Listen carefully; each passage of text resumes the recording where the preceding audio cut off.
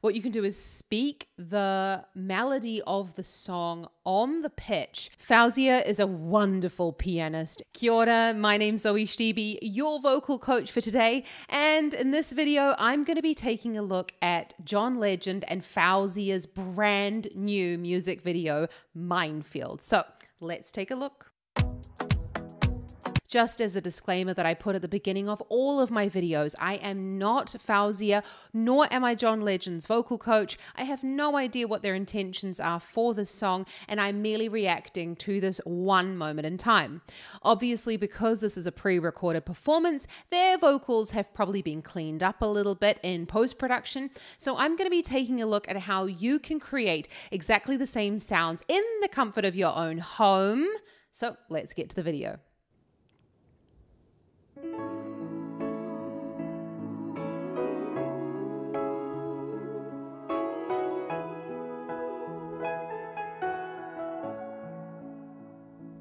Now this might be a mistake that I'm calling you this late, but these dreams I have of you ain't real enough. Stop. Firstly, before I just see John Legend sitting at the piano, I have never heard this song before. I know that's really bad of me, but I think it's quite good actually because I've never heard the song and I'm kind of listening to it for the very first time. Faouzia is a wonderful pianist, and we see that right at the beginning. And there she is, looking stunning in that dress. Her voice at the beginning is very easy and relaxed, and we would call that in Estill voice training speech quality. You, you might also know that as chest voice. Past, last, even though this isn't fair for both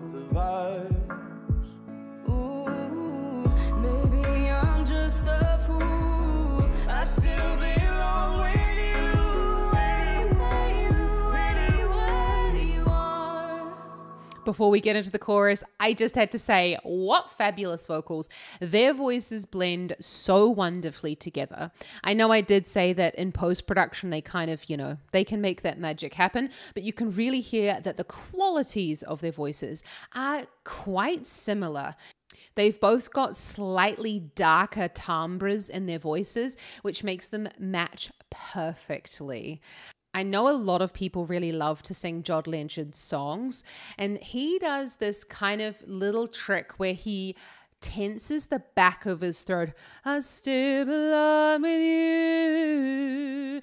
Uh, I don't actually know the lyrics, but what he's doing is just tensing really, really lightly. I I think, because that sound can kind of be created in a couple of different ways. But what I think he's doing is he's just tensing really lightly the back of his tongue. You can do this by thinking that you're singing like Shakira. She's also someone really famous that does it. Um, whenever, whenever. Anastacia is also someone that does it. I'm out of love, set me free. And uh, Cher is also someone that tends up. If I could turn back time and I am not making fun of them whatsoever. It's just the way that you can kind of create that slightly more darker sound um, when you're singing at home. Ooh.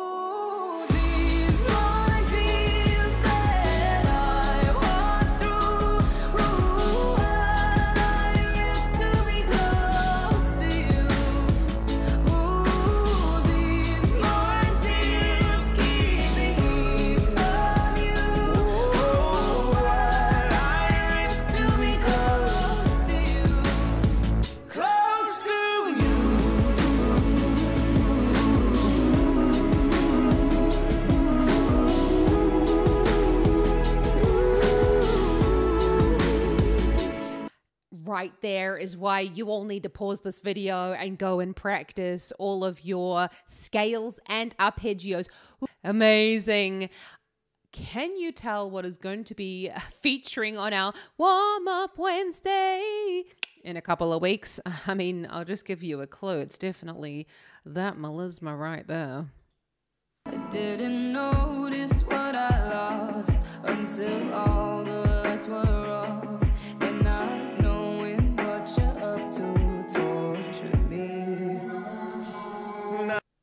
I know a lot of people are going to be covering this song over the next couple of weeks, probably months, and I know there's already a couple up on YouTube to create that really like Faouzia uh, da da da da da da.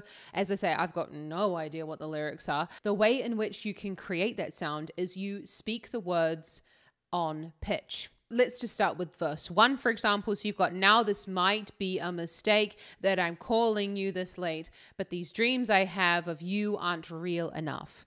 And what you can do there is you can speak that out loud, but on pitch. Now this might be a mistake that I'm calling you this late, but these dreams I have of you ain't real enough. I'm not really 100% sure of the melody bad voice teacher. I probably should have gone and had a look at that. But what you can do is speak the melody of the song on the pitch, and that's going to help bring the voice and that's going to help bring the vocal folds down into that chest voice sound. So if you're someone who's saying, ah, I don't really have a lot of kind of power or volume down in that bottom part of the range, she's literally speaking on pitch. Now, there is I know before I get any comments, there is a difference between speaking and singing. So if you're someone who's having any troubles with volume or anything like that, down in that lower range, for example, in a song like Minefields, then hit me up in the comments and let me know what you're having trouble with. And I'll see if I can point you in the direction of a vocal exercise and maybe help you out in a couple more of the videos. Speak it along on pitch and then you can slowly start to get a feel of where the vocal folds are. Now, after a while, you're going to need to do something else. So, what you're going to do with that extra thing is you're going to slightly complain on the sound. Now, this might be a mistake that I'm calling you this late, but these dreams I have of you ain't real enough. And so, what you're doing is you're going to be doing a little bit of a complain along that speaky sound.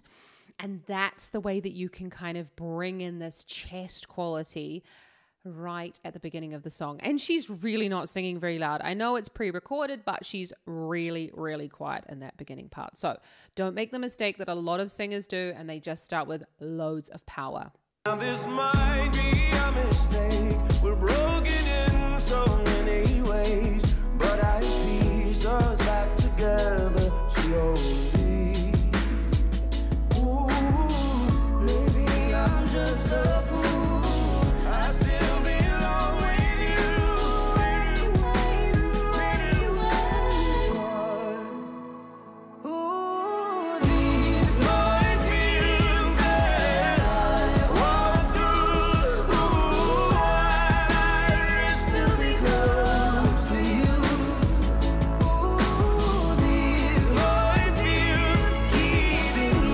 that people are going to ask again about that. These minefields that.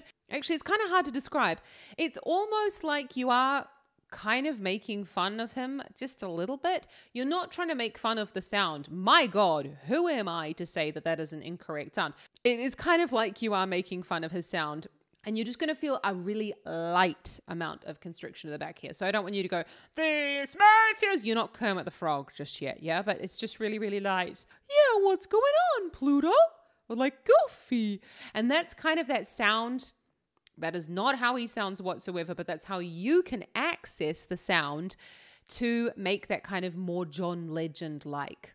Honestly, I don't know why you would want to make it sound more like him because he has his own voice, you have your own voice. So, you know, try and figure out how you can get that speechy chest voice sound in your own sound. But if you happen to be a John Legend tribute act, then there you go, go ahead.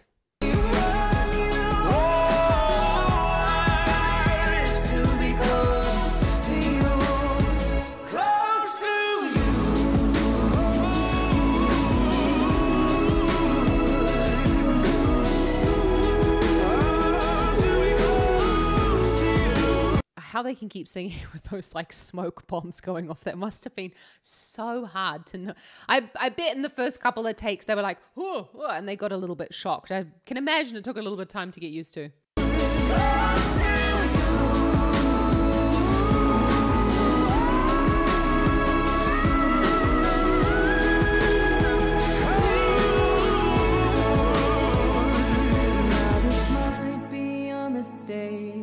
Have a feeling like every single singer is going to bring this song to me now over the next couple of weeks because this is now on the YouTube top list. How she goes up for those high notes is you've really got to cry. Ah! You've got to really, really the saddest thing on the planet.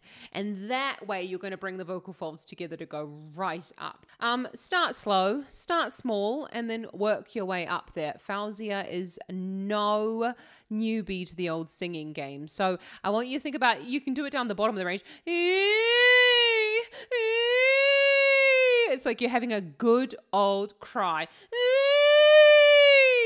Making sure though that you're not crack you're not scratching and crackling. Like it's not it's, it's not an ugly cry moment. It's a I want everyone to know that I'm really sad kind of cry. And then you're going to be able to take the voice right up there.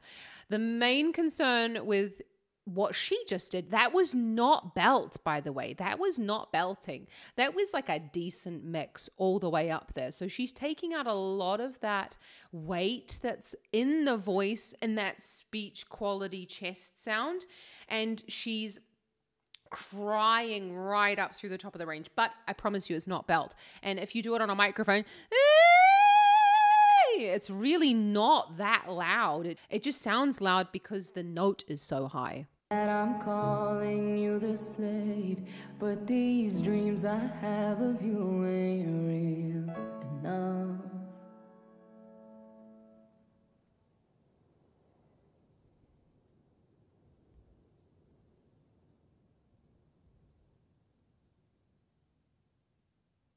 Oh, that's lovely.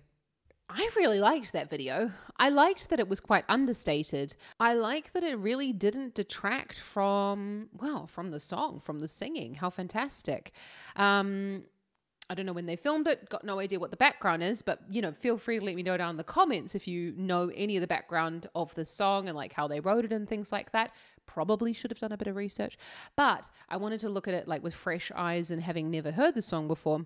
It's wonderful. It's really, really beautiful. This would be a fantastic song for anyone who is maybe getting into singing in harmony. I can't wait to hear this song live at like the Grammys at some time in the near future. That would be so, so cool. But if you've enjoyed this video, don't forget to give it a big thumbs up and consider hitting that subscribe button because I bring out videos just like this one every single week. And I would love to hear your recommendations on what you would like to see. I mean, these reactions are just for you. I want to help you sing like these people at home or create those sounds better with your own voices. So hit me up in the comments about what you would like to see more of. Have a lovely rest of your day. Ka kite anō.